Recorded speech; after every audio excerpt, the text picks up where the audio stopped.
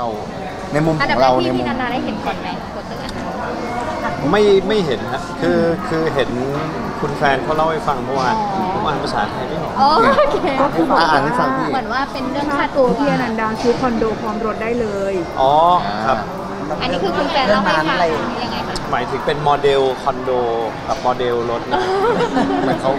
ไม่น่าไม่น่าใช่ไม่ใช่คนก็เลยกลายใช่ มันไม่ มันไม่ได้กันอย่างนั้นหรอกการอันนี้คือถ้าจำได้เนี่ยคือจริงๆมันเป็นเรื่องที่เพ่งเขาแซวเป็นโจ๊กตั้งแต่ตั้งแต่เราบวงสรวงแล้วค่ะวิดไฟดำไม่เป็นไรค่ะพี่เด็กพูดเตะไม่เป็นไรใจเย็นใจเย็นพี่เออนะอะโอเคต่อค่ะค่ะโอเคเหมือนที่เท่งเขาแซวเขาแซวคือมันเป็นแค่โจ๊กค่ะที่เขาแซวตั้งแต่ไอ้ตอนเปิดวับวตังสรววงที่ผมจำได้นะครับครับ เท่านั้นเองแต่คนก็ ถ้าเลยไม่ถึงเป็นดราม่าคนก็เลยมาจับผิดว่ายอดมันเยอะหรือเปล่า มันแบบยอดมันเยอะไม่ดูมันเป็นแบบโจ๊ over กอะไรอย่างมัเงี้นยเป็นเขาพูดให้มันโอเวอร์อะไร ครับคือไอเดียของมันก็คือโอเวอร์อะไรซึ่ง มันไม่ใช่เรื่องจริงครับ อ๋ออะ ถ้ามันเป็นอย่างนั้นจริง ๆ นี่ก็ดีสิครับ ผมเล่นหนังมา 30 40 เรื่องครับ คงมีคอนโดอยู่ทั่วทั่วกรุงเทพแล้วล่ะอย่างนั้นนะฮะ ซึ่งพอคนจับมาดราม่าเป็นเพราะว่าเกิดการเกิดการเหมือนแบบเปรียบเทียบกับคนเบื้องหลังที่เขาอาจจะไม่ได้อาจจะไม่ได้ค่าค่าค่าตอบแทนที่สูงเหมือนกับนักแสดง มันก็เลยกลายเป็นดราม่าเรื่องนี้ครับพี่พี่อนันดาในในฐานะเรา อันนี้เรามงอันนี้เราคงต้องจับเข่าคุยกันอีกอีกอีกนานครับ เพราะว่าผมรู้เรื่องครับของผมเป็นโปรดิวเซอร์อยู่ครับ แล้วใช่ไหมครับแล้วผมก็รู้เรื่องของค่าตอบแทนของเดี๋ยวความไม่แฟร์ของค่าตอบแทนในวงการเนี้ยค่ะอ่ามันมีหลายเลเวล คือถ้าสมมติว่าเราจะมามองกันแบบพื้นพื้นๆ แบบฉาบฉวยอย่างนี้แค่มาดูดูเป็นข่าวดราม่าเฉยๆเนี่ยมันไม่เกิดประโยชน์หรอก ครับ เพราะจริงๆแล้วเนี่ยถ้าเราจะมาแก้ไขปัญหาตรงเนี้ย มันเป็นนโยบายมากกว่าเข้าใจไหมฮะต่างประเทศเขามีแบบองค์กรเหมือน SAG หรือเขามีอะไรอย่างเงี้ยที่แบบ protect เอ่อคนในวงการใช่ไหมฮะบ้านเรามีที่ไหนอ่าเข้าใจนะซึ่งคือจริงๆ ถ้าจะคอมเพลนก็ช่วยผลักดันให้มันเกิดการเปลี่ยนแปลงสิครับมันไม่ได้มันแล้วมันไม่ใช่แค่วงการหนังอย่างเดียวครัมันบหลายวงการใช่ไหมฮะที่มันแบบทั้งทั้งอุตสาหกรรมนไได้ทั้งอุตสาหกรรมถูกต้องครับ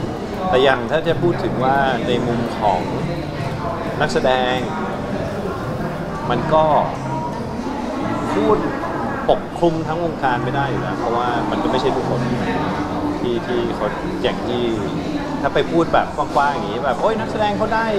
เยอะกว่าทุกคนเลยมันก็ไม่ใช่ทุกคน มันก็แค่เฉพาะบางคนแต่การเอาเอาเรื่องโจ๊กที่เราที่เราพูดกันวันนั้น เอามาโปรโมทภาพยนตร์ เรื่องเนี้ยมันมันเลยกลายเป็นแบบว่าพี่พี่นันในฐานะพี่นันดาเป็นนักแสดงในอะพี่นันดามองในลองในมุมของผมอะผมว่าเอาพูดกันตรงๆเลยแบบเซนซิทีฟเกินไปมันคือโจ๊กมันคือโจ๊กมัน obviously มันคือโจ๊กใช่ไหมฮะคือทุกวันนี้ผมรู้สึกว่ามันแบบบางทีเราไปเราไปจับคำพูดของแบบพวกคอมเมนต์ที่มันแบบออกไปทางแบบ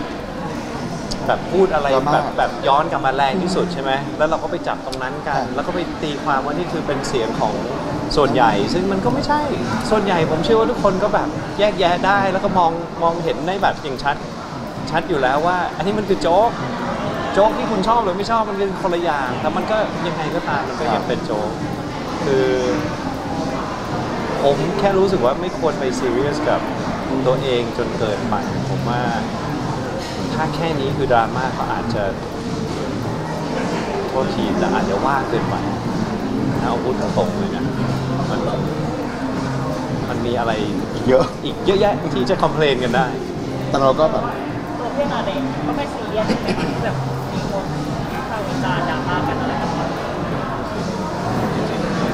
ผมว่ามันเป็นเหมือนแบบพวกข่าวชนิดแบบเดี๋ยวที่หน้าเราก็ดูมันไม่ได้ attack อะไรใครแต่ถ้าที่เราพูดเมื่อกี้นี้ ถ้าสมมติว่าอยากจะมามาคุยกันเรื่องของความแฟร์ในในวงการเนี่ยเรามานั่งจับของอันนี้ผมยินดีที่คุยเป็นประเด็นที่แบบผมเคยบ่นมาแบบ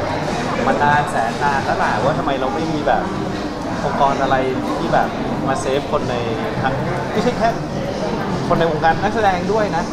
มันมีสิทธิอีกตั้งเยอะตั้งแยะที่ผมอยากได้เหมือนกันนะ อ้าวอย่างเช่นง่าย ๆเลยคือถ้าอยู่ที่ต่างประเทศเนี่ยอ่าหนังหนังทุกเรื่องพูดได้อีกยาวเลยเรื่องเนี้ยซึ่งมาคือคืออย่างเช่น สมมติว่าสมมติว่าผมอะอยู่ที่ต่างประเทศครัแล้วบผมอยู่ในองค์กรของต่างประเทศเนี่ยคือผมรีไทายไปได้ตั้งนานแล้วอ่าเพราะหนังทุกเรื่องที่ที่ผมได้ได้ได้ทำได้ แสดงมาเนี่ยผมได้ back end ทุกครั้งที่เขาเอาไปฉายใหม่ครับ standard นี้ก็ไม่มีอยู่ในในประเทศประเทศไทย เพราะถ้าเพราะถ้าจะมองถ้าให้มันเท่าเทียมใจให้มันมันต้องเกิดการเปลี่ยนแปลงในอุตสาหกรรมบันเทิงก่อน คือถ้าคนถ้าคุณอยากถ้าถ้าคนอยากจะมาเปิดประเด็นนี้แล้วมาคุยกันเนี่ยผมยินดีมาก อยากพูดมากครับ เป็นเป็นสิ่งที่เรา เราเราเรา care จริงครับ ๆแต่ว่าในในในส่วนที่ที่เราเราคุยเรื่องดราม่านี้อันนี้มันคือแค่โจ๊กครับ ในแง่ของนักแสดงคิดว่าน่าจะทำอะไรได้มากที่สุดเช่นแบบการท้องเล่าการส่งเสียงหรือว่ากระตุ้นให้เรื่องนี้มันถูกพูดต่อที่อนันดาบอกว่าในทางของการเป็นนักแสดงที่มันจะทำให้ประเด็นนี้ขยับต่อคือปัญหานี้มันมันคืออย่างอย่างที่ผมว่ามันมันอาจจะต้องมีเวลาคุยกันแบบแบบตั้งฟอรัมที่มันแบบคุยกันได้แบบยาวๆเพราะมันคุยฉากเดียวไม่ได้อะไรอย่างเงี้ย มันอาจจะเริ่มมาจาก culture ของบ้านเรา อืม ที่อย่างเช่นอ่าเราเป็นอ่า culture ที่เราให้พื้นที่กับดาราก่อนนักแสดง อันนี้พอเข้าใจใช่ไหมครับ คือเหมือนอย่างเช่น หลาย ๆ คนที่เข้ามาในวงการเนี่ยเขาถูกปั้นมา คือเขาไม่ได้ถูกหยิบมาจากโรงเรียนหรืออะไรอย่างนี้ มันก็เลยกลายเป็นว่าหลายคนอะมัน มันไม่มันไม่มีเสียงตั้งแต่แรกใช่ไหมครับแล้วพอเขาถูกดึงเข้ามาอยู่ในวงการเนี่ยคือเขาก็ถูกปั้นด้วยทางค่ายหรืออะไรว่ากันไปใช่ไหมฮะเขาได้มีปากเสียงได้ไงใช่ไหมฮะเขาก็ต้องอยู่ในแบบบริบทอยู่ในค่าย แล้วพอเขามาถึงจุดนั้นเนี่ยคือมันก็กลายเป็นว่าเขาเป็นบเขาเป็น by product ของค่าย